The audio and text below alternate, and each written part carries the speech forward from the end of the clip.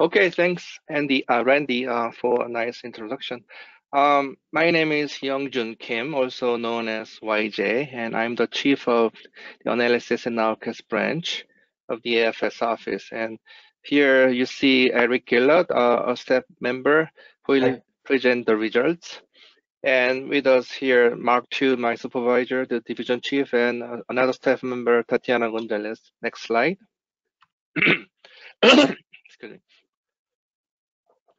So uh, we have the code of AFS11 to designate the analysis and nowcast branch located at the National Weather Service headquarters in Silver Spring, Maryland. And one of our primary missions is to find out what uh, your needs are, I mean the field's needs regarding analysis and short-term forecast models. So basically we take your feedback and use it to develop develop requirements, operation requirement, requirements, and pass them to the developers and GSL and EMC, etc. And there are three of us here. Uh, not yet. Myself and Eric Guillot, formerly from Office of Ops, and Tatiana Gonzalez, uh, formerly from MDL. Hmm, next, now, next slide. so why are we doing this? In fact, we have a we have an FI training milestone entitled Draft Requirements Developed Through Survey and Gap Analysis of the Field's Needs for 3D Mesoscale Analysis, which is 3D RTMA URMA. And this survey is basically for version 2.7, although we have some selected, selected cases from version 2.8 uh, that became operational in last July. The next version will come out uh, quite a few years after, I mean later in 2023, but our fellow developers at EMC uh, want to know what the needs are to prepare for their uh, upgrade. And we sent out um, requirements in, uh, through a very general form of cards, but this time we are making some specific field requirements to um, directly help them to develop uh, solutions. And from the next slide, Eric will take over and I'll be back near the end of the talk. Okay, Eric, take it away. Thank you, YJ. Um, so um, I'm going to keep this pretty informal. If you have any questions, please just interrupt me. Um, I can't see all of you, obviously, but uh, like I said, just interrupt me. Let's uh, let's answer those questions as soon as we can. So really quick, let's just start off with an overview of what is our RTMA URMA, just in case you're not familiar with it, though I, I suspect most of you are. Uh, RTMA, real-time mesoscale analysis, URMA, unrestricted mesoscale analysis. Basically, uh, takes a blend of the NAM nest and the HRRR one-hour forecast and takes that as the first guess uh, field. Uh, then it takes um, surface observations, uh, stage four radar data, CMORPH and MRMS, and also satellite imagery and wave height. QCs all that, puts it all together. It kind of gives you an idea of the, the best uh, estimate of the current state of the atmosphere. And then URMA runs six hours later than RTMA to utilize any late arriving observations in case those uh, observations were not available when RTMA was running. Um, so at the bottom there, you know, why, why, is RTMA and URMA important as a forecaster? RTMA is important because you can use it to initialize your NDFD grids. I know Eastern Region does that um, several times a day. Um, URMA is important because it is the analysis of record for NWS. It's also important, as um, uh, Randy was saying earlier, because it's uh, used to bias correct the NBM, which presents a problem if, if, if URMA's off, and we'll talk about that in a little bit. Uh, so like YJ said, we did this survey um, back in May, uh, closed the beginning of June. Uh, we had 172 responses. Um, you can see most of them were from forecasters, which we very much appreciate. And actually, Central Region, you guys are the winner. 31% um, of you uh, said that were the ones that responded here, which we very much appreciate uh, your, your feedback. And actually, in terms of WFO numbers, uh, Boulder and uh, Grand Junction were, were, were, the top, some of the top uh, participants. We appreciate that. Um, so the way this presentation is organized is we start with conclusions. Uh, from there, we'll go into the survey question from which we drew that conclusion from. And again, just interrupt me anytime as, as we go through this. There's going to be a lot of information thrown at you.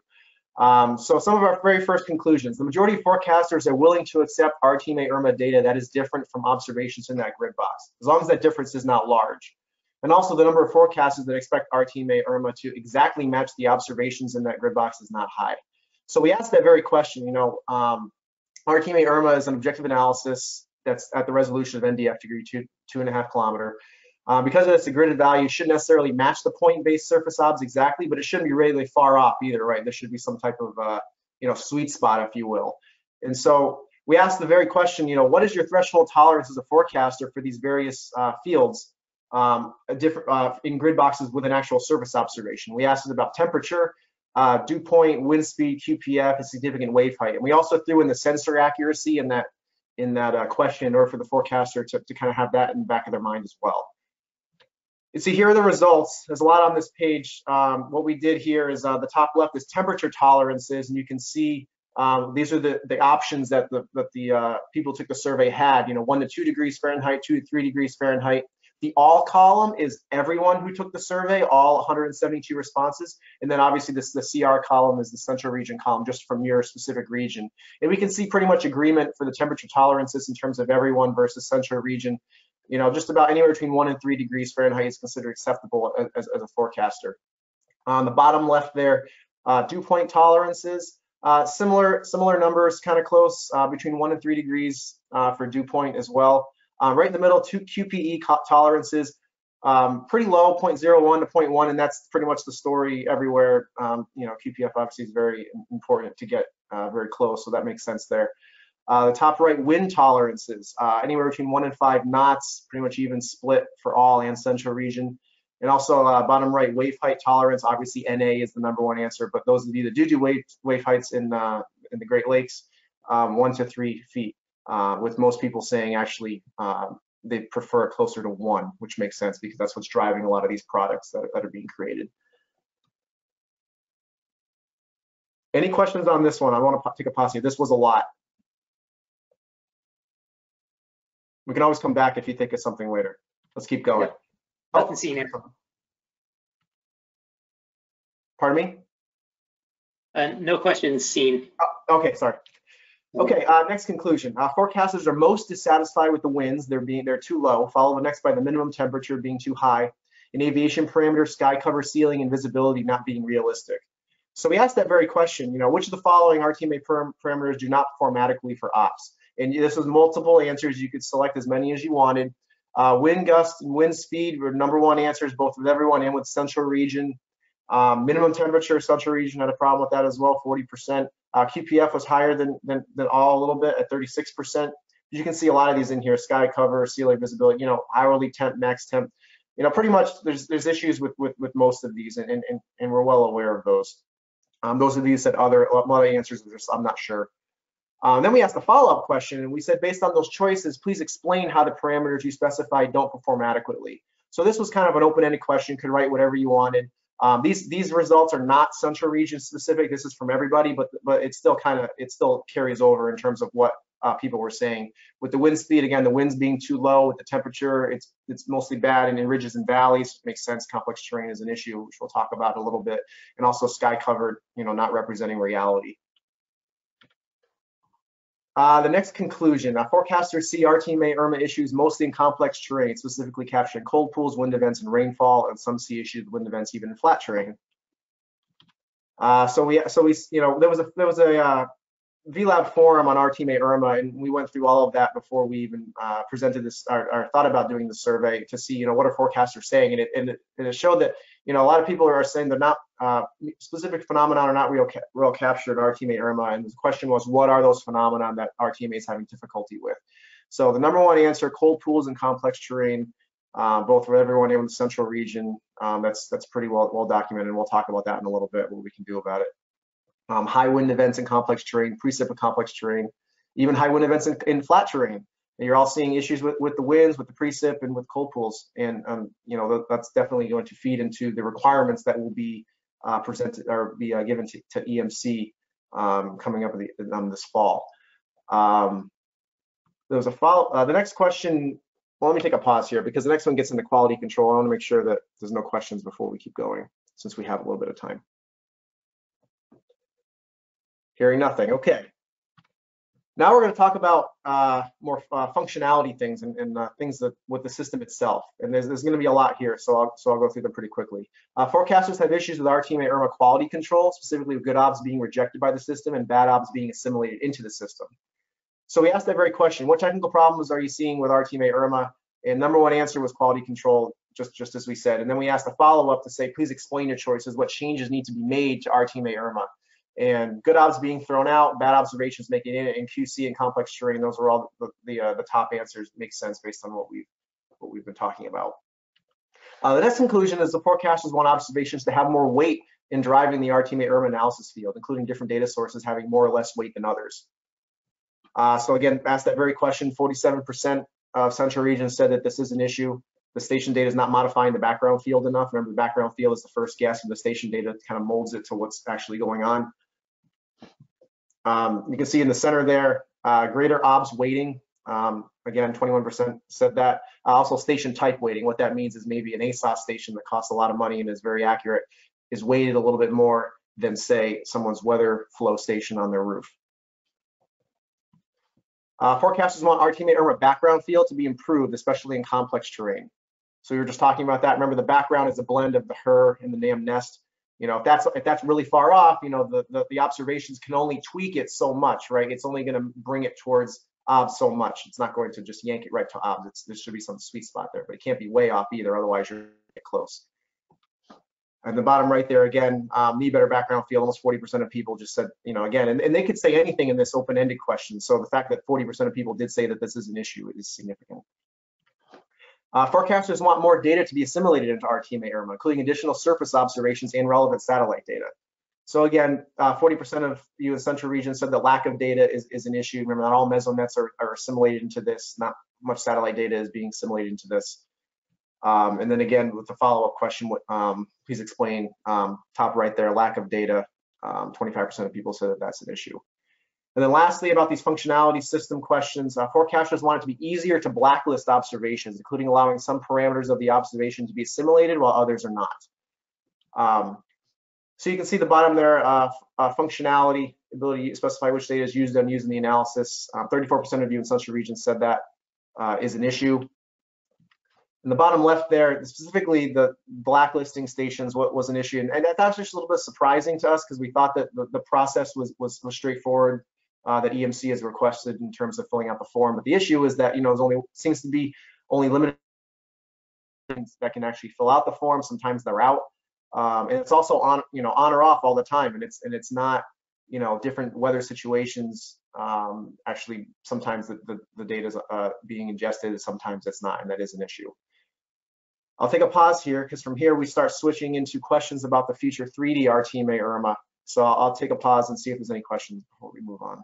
Any questions on what Eric's touched on this to this point? Uh, please raise your hand or type it into the questions pane.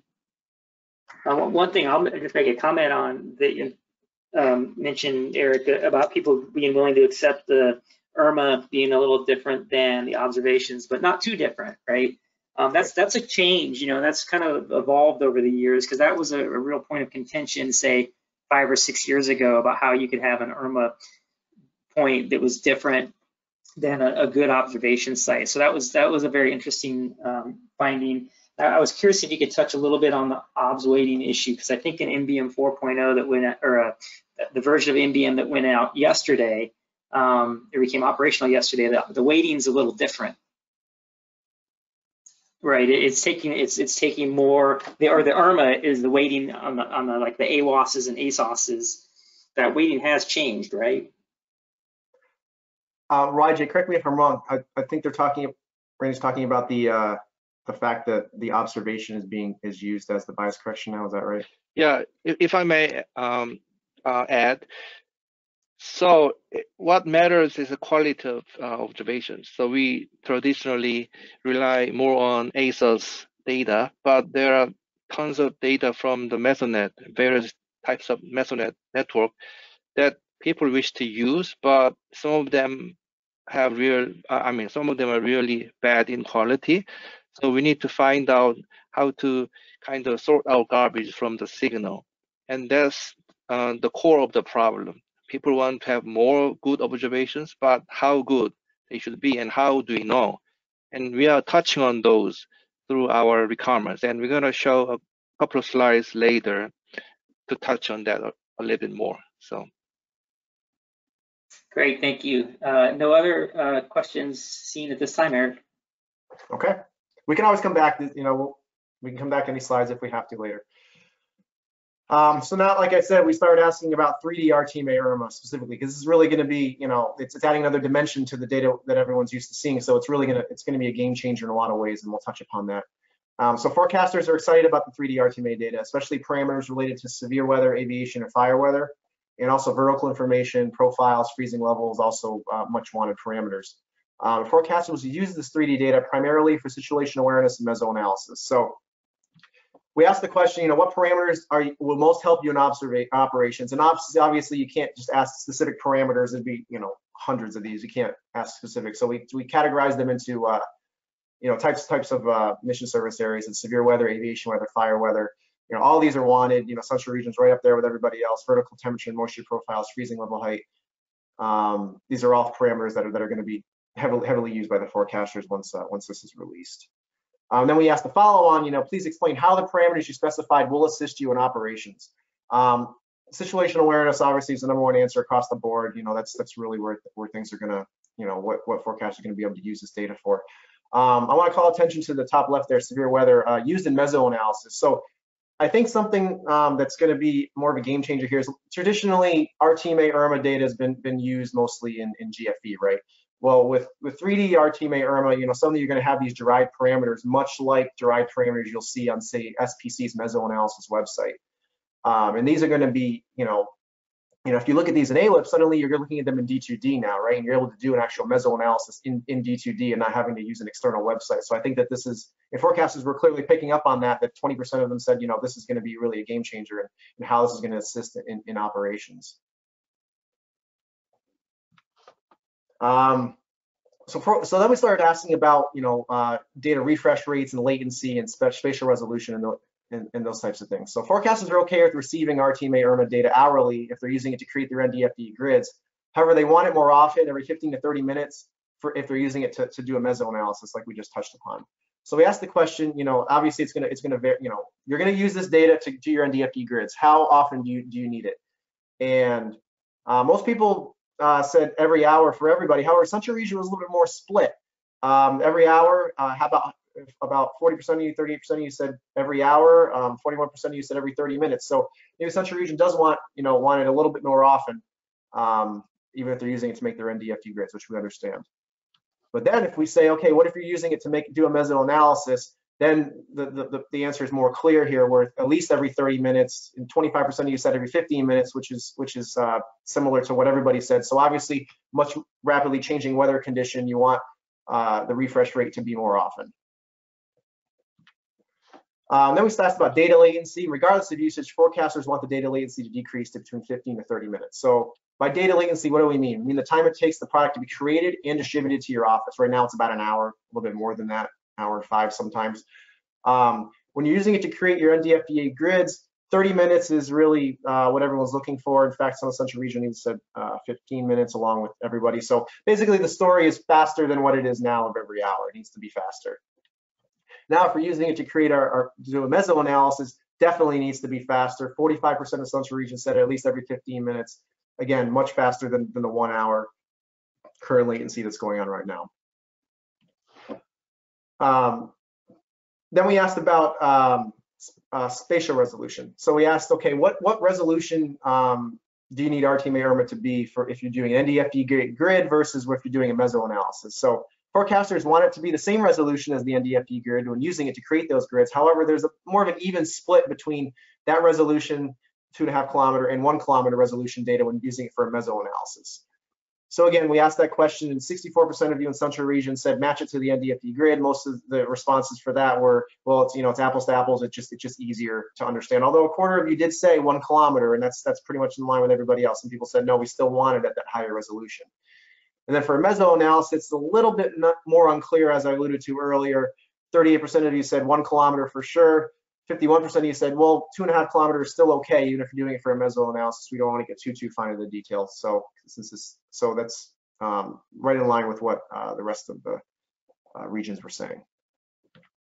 Uh, this is the last uh, conclusion slide. Basically, the final question on the survey was, tell us anything else you want us to know about RTMA and URMA. So they could ask about anything. And there was actually some consensus. I kind of expected it to be all over the place, but there was some consensus. Some people were uh, in agreement here that uh, they want larger domains, including adding places like American Samoa, expanding into Canada to see what's coming, um, and larger resolution domains over oceans. Um, URMA, contaminated by bad quality data to bias correct the NBM, is causing forecasts to rely less on NBM. This is this was alluded to by Randy earlier, and this is a big problem. Um, this is something that, that, definitely needs to be addressed. And again, forecasters are, are looking forward to the 3D RTMA data, data in, uh, enable us to use the same way as the SPC mesoanalysis website. Um, so Eric. this is- yes, Yeah, I just want to let you know, there's a pretty good lag on our end um, on the slide advancing. okay, So, so we're seeing the slide advance maybe 15 seconds after it looks like you advance it, just, just so for your awareness. got it. Okay, thanks for telling me. Yep. Okay, I just switched the slide, so it'll take it'll take a second, but this is the our concluding remarks slide. I just wanted to say thank you for taking our survey, all of you. We know your time is is valuable, and um, you know we do appreciate you you giving us some feedback. You know, so we can use your feedback in order to inform EMC that you know this is what uh, you know the forecasters really need for this next iteration of RTMA URMA that's coming out in a couple years here. And with that, I'll throw it back to YJ. Okay, so uh, now everybody is seeing the concluding remark slide. I mean, Eric, you went back to the previous one. Uh, no, I'm on concluding remarks still. Uh, I'm seeing survey conclusions um, for uh, 16 and 18. so, yeah, the delay is Wow, significant. that's really slow. Just um, wow, this is more than a few seconds. Anyway, um, so um, we rely on the VLab forum on RTMA URMA a lot, and we used data we analyze out of the forum to develop questions and also uh, design our surveys. And we are performing a gap analysis um, based on this and all the information we collected. And Eric, click gap analysis slide link.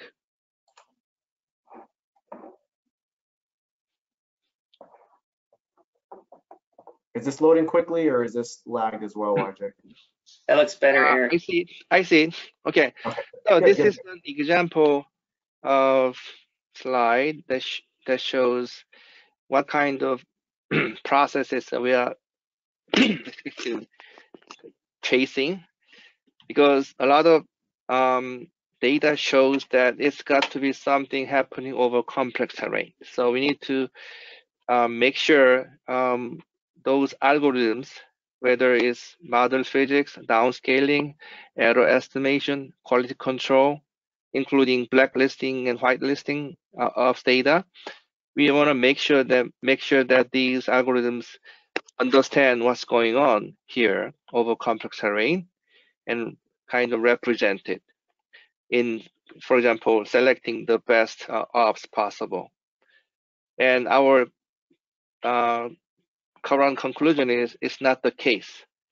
And those algorithms are not based on a lot of physics, but based on some engineering and um, some flow dynamics ideas. So we are working on to kind of let the developers know that it's got to be physics based. And uh, Eric, if you stay with that slide deck and go up by two, just to answer a question that uh, occurred earlier. yeah, that one. Excuse me. That is uh, basically Artemis Sue good enough list that came out a few years ago. And there are suggestions. And item number three, the second column, I mean, um, second quality control column talks about weighting. So recommendation was to weight more strongly where uh, there's not much terrain variation and weight less where those subgrid scale terrain variability is high. I know why this was suggested because there are a lot of um, difficulties over complex terrain. However, it should be the other way around. We have to, we need more data over complex terrain because those are uh, problem areas. So we are our requirements will directly tackle this. We need more ops and wait more over ops over complex terrain. But the issue is, of course, the quality of data. Um, either is not um, measured right or models have trouble understanding what's happening, all sorts of things. So this is a huge problem, but it should be addressed to come up with the best possible uh, analysis field. So back to um, main slide deck.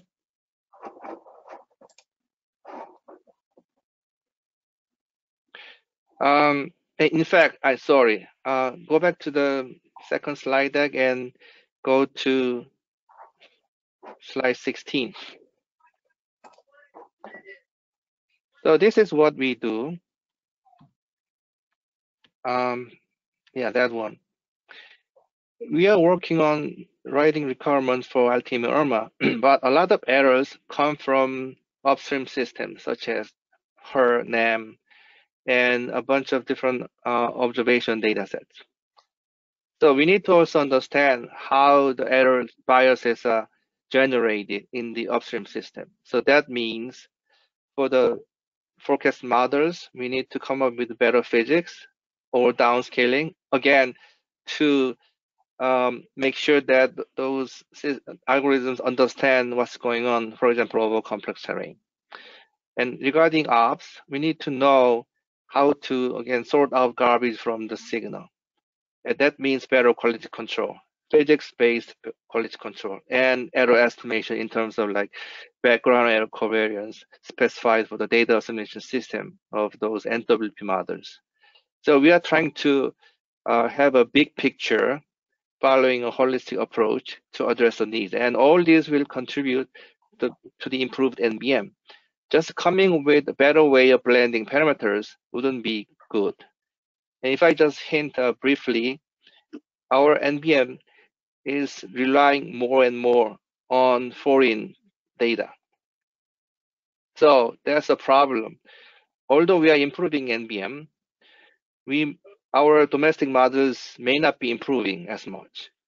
And that's another problem. But here we are trying to kind of balance these two, provide uh, accurate verification data from RTMA URMA so that the NBM performs nicely with all those blending parameters. So back to the main slide deck. So that's what we are doing. And we have a draft uh, requirements. Uh, next slide.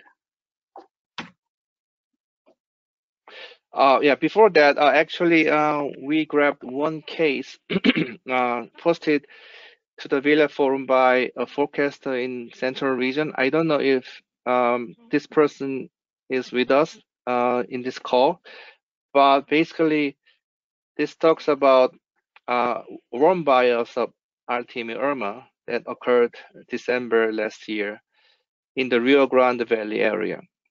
So there is E8706 uh, station, which is a CWOP station. And what we can see out of this um, report is there is a cold pool generated by valley effect, which is not picked up by RTMA URMA. And next slide. And we checked nearby stations in the Rio Grande Valley area, E8706 on the left, and there's a ASOS station on the right, KLCB. However, it's kind of far and it doesn't represent the physics and dynamics going on um, uh, in near E8706. So um, as you can see from the next slide, uh, that's not very helpful to understand the report. So on the uh, upper left, we have three curves from 8706 a CWOP station. Or I mean, red is the background, model background, which is HRRR and HRRR basically. And E8706 CWAP uh, station data is colored in yellow. And URMA is in the middle, the blue one. So you can see that although um, there was a E706C of data. URMA probably didn't take advantage of it in this version. And background le- actually shows much overestimated temperature. The bottom line is this cold pool was not captured by URMA. It may uh, be better represented in the newer version, which we are planning to track.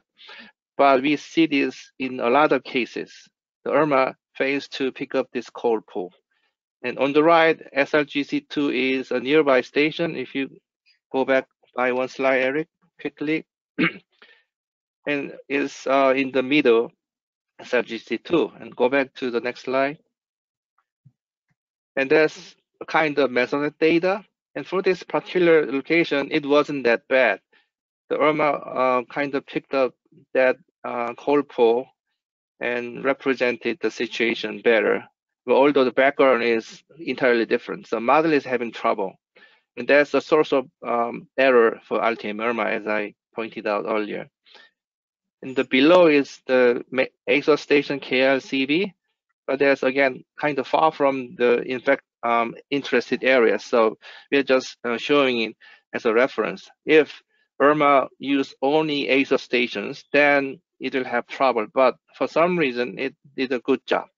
The thing is, um, this kind of flows of a complex terrain is highly nonlinear, inhomogeneous, transient, and anisotropic. So we really need to make sure that to address concerns of a lot of different forecasters and people, we need to make sure that these models represent, understand, represent this kind of physical phenomena correctly. Okay, uh, back to the main slide there. And that's about it. And uh, Eric is uh, going to go over our VLab page for news, uh, our news. Yeah, so we have a, uh, a VLab page called AFS1 Announcements and Updates. AFS1 is the division um, at AFS that uh, AFS 11 is, is located in. And this VLab page, uh, you know, we started it for mostly, you know, for all of you, basically, to, to, to be aware of what's going on exactly with with with the with the branch and with the, with the division. So this is what the page looks like. It's open to everybody. If you click on that link, it'll ask you to join. It's anyone with a NOAA email can, can, can join it. And basically, you know, this is this is the, the the breakdown here. You can see down here on the left our three branches in AFS1. If you click on analysis and nowcast branch, it'll take you to our branches page. And these are all the updates, um, the things that we've been working on, you know, right here along the top here. Uh, one, of, one of the more recent ones that you all might be interested in, you probably already seen this because it did go out um, through the regions, is um, when RTMA URMA version 2.8 was released, uh, we, we co-wrote a newsletter with EMC. Um, and you can see that newsletter here basically to say, you know, as a forecaster, you know, what do I need to know about the new release? What changes have been made? And it goes into that a little bit. There's been some background field improvements, some wind enhancements, significant wave height enhancements, uh, moisture dew point analysis enhancements, sky cover enhancements. So they, they pretty much tried to improve as many things as they could in this, in this latest version. And, you know, what do I have to do to receive this in my office? Who do I contact? I have questions about RTMA URMA, and then what's next on the horizon for RTMA URMA? Um, and again, we, we, we appreciate EMC um, for, for co-writing that with us.